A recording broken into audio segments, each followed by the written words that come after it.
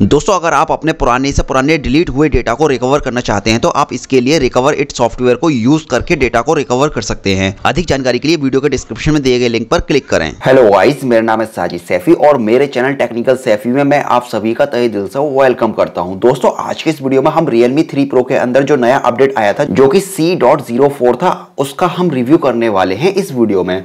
और दोस्तों, इस वीडियो में मैं आपको बताऊँगा कि इस नए अपडेट को इंस्टॉल करने के बाद आपके फ़ोन की जो परफॉर्मेंस है बैटरी बैकअप है, वो कैसा है? और भी बहुत सारी बातें मैं आपको इस वीडियो में बताने वाला हूँ। तो दोस्तों, आज की इस वीडियो में हम फुल रिव्यू करने वाले हैं इस नए अपडेट का, जो कि सी है। तो चलिए अब फाइनली वीडियो को शुरू करते हैं।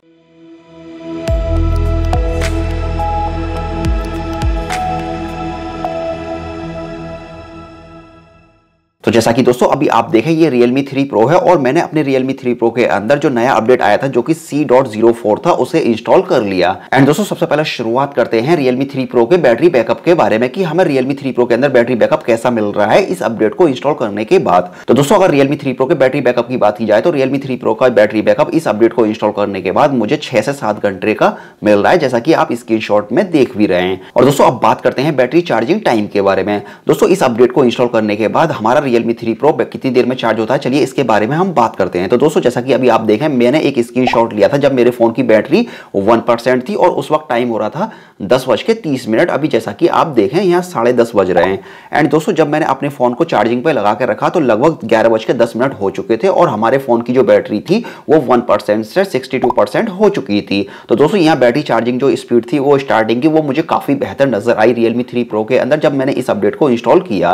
एंड उसके बाद दोस्तों, अगर फुल चार्ज की बात करें तो अभी जैसा कि देखें आप, यहाँ हमारे फ़ोन की बैटरी जो है हंड्रेड चार्ज हो चुकी है। और अभी जो टाइम हो रहा है, वो बारह बज रहे हैं। तो दोस्तों इस हिसाब से अगर देखा जाए तो हमारे Realme 3 Pro को ज़ीरो से परसेंट से 100 परसेंट तक चार्ज होने में लगभग डेढ़ घंटा लगा। लेकिन दोस्तों जो स्टार्टिंग के 50 परसेंट चार्ज हुआ था हमारा फ़ोन वो काफ़ी ज़्यादा फास्ट हुआ था यानी कि लगभग आधे घंटे के अंदर हमारा फ़ोन 50 परसेंट चार्ज हो, हो चुका था। लेकिन दोस्तों 50 परसेंट के बाद जब हमारा फ़ोन चार्ज होना स्टार्ट हुआ तो उसमें तकरीबन हमारे फ़ोन को एक घंटा लग गया। तो दोस्तों ये था रियलमी थ्री प्रो का बैटरी चार्जिंग टाइम एंड दोस्तों, अब फाइनली बात करते हैं Realme 3 Pro के परफॉर्मेंस के बारे में। तो दोस्तों, अगर इस अपडेट को अगर आप अपने फ़ोन के अंदर इंस्टॉल करते हैं तो आपके Realme 3 Pro की जो परफॉर्मेंस है, वो काफ़ी बेहतर हो जाएगी। पहले से ये अपडेट वाकई वर्क करता है इस अपडेट को इंस्टॉल करने के बाद। मेरे फ़ोन की जो परफॉर्मेंस है, वो काफ़ी बेहतर हुई है पहले से, लेकिन इतनी ज़्यादा बेहतर नहीं हुई जितनी होनी चाहिए थी, जितनी की हमें कलोर सिक्स पे मिलती थी। एंड दोस्तों, अब बात करते हैं इसके लेग इश्यू के बारे में कि Realme 3 Pro के अंदर हमें लेग इश्यू देखने को अब मिलता है या नहीं मिलता है। तो दोस्तों, इस अपडेट को इंस्टॉल करने के बाद हमें Realme 3 Pro के अंदर अभी थोड़ा थोड़ा सा लेग इश्यू देखने को मिलता है। हालाँकि पहले के मुकाबले अब बहुत ज़्यादा इंप्रूवमेंट देखने को मिलता है।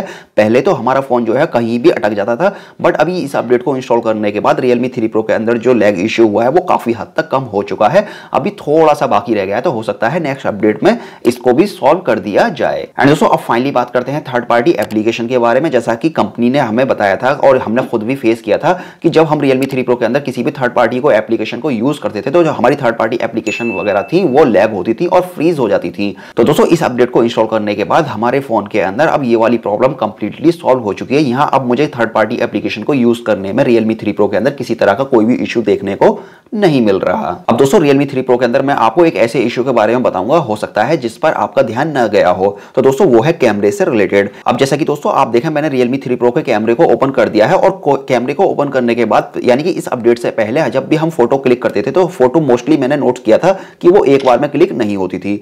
अभी लेकिन दोस्तों, इस अपडेट को इंस्टॉल करने के बाद, हमारे फ़ोन के अंदर एक बार में ही फ़ोटो क्लिक हो जाती है। अगर आपने भी इस प्रॉब्लम को फेस किया है तो आप मुझे कमेंट करके ज़रूर बताइए। लेकिन दोस्तों, इस प्रॉब्लम को मैंने फेस किया था, जो कि इस अपडेट को इंस्टॉल करने के बाद सॉल्व हो चुकी है। चलिए दोस्तों, अब बात करते हैं गेमिंग ऑडियो के बारे में। दोस्तों, Realme 3 Pro के अंदर, जो गेम के अंदर ऑडियो का इश्यू था, अब वो कंप्लीटली फिक्स हो चुका है। अगर आपको अभी भी किसी तरह का कोई भी प्रॉब्लम आता है तो वो आपके नेटवर्क की प्रॉब्लम हो सकती है।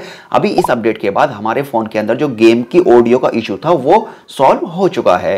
एंड दोस्तों, अब बात करते हैं स्क्रीनशॉट एंड फ़ोटो के बारे में। दोस्तों कभी कभी क्या होता था कि जब हम Realme 3 Pro के अंदर स्क्रीनशॉट कैप्चर करते थे या किसी फ़ोटो को क्लिक करते थे तो वो गैलरी के अंदर अपडेट नहीं होता था कहने का मतलब वो गैलरी के अंदर शो नहीं होता था। बट दोस्तों, यहाँ अगर आप अब रियलमी थ्री प्रो के अंदर किसी भी स्क्रीन को कैप्चर करते हैं तो वो आपकी गैलरी के अंदर डायरेक्टली शो हो जाएगा। जैसा कि अभी आप देखें, मैंने एक स्क्रीन लिया तो वो तुरंत हमारी गैलरी के अंदर अपडेट हो गया। तो दोस्तों, ये वाली प्रॉब्लम भी इस अपडेट को इंस्टॉल करने के बाद फिक्स हो चुकी है। एंड दोस्तों, अब बात करते हैं बूट एनिमेशन डिस्प्ले के बारे में। जी हाँ दोस्तों रियलमी थ्री प्रो के अंदर काफ़ी सारे लोगों को बूट एनिमेशन डिस्प्ले के अंदर भी काफ़ी प्रॉब्लम देखने को मिल रही थी। तो फाइनली दोस्तों, इस अपडेट को इंस्टॉल करने के बाद बूट एनिमेशन डिस्प्ले की प्रॉब्लम को भी फिक्स कर दिया गया है।